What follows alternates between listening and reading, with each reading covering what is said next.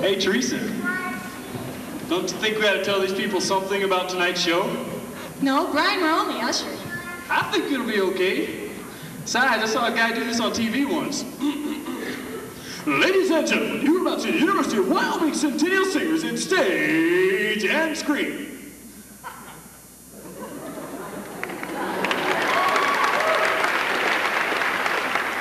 Thanks, Brian. Stage and Screen is a review of great Hollywood and Broadway musicals. From Broadway to Sesame Street, we've got something for everyone. So hold on, folks, because here come the Centennial Singers! Brian, the mics, Just having fun. But first, some do's and don'ts. mostly don't.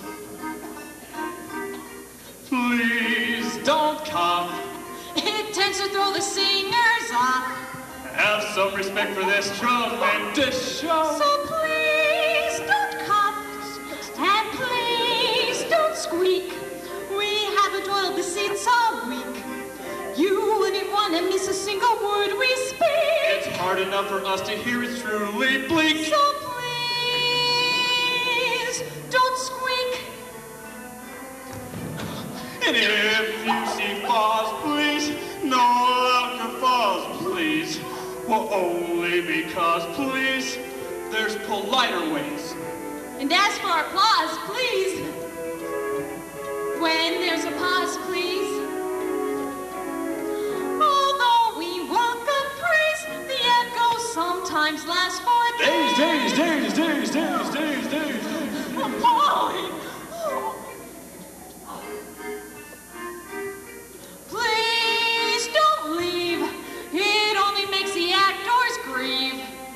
might have something better up our sleeve, so please don't leave.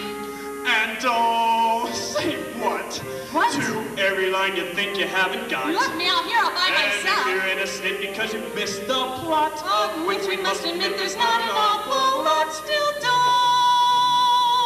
don't. Say what? What? Brian, you left me out here all by myself. I was What so get all first? scared. I'm not usually a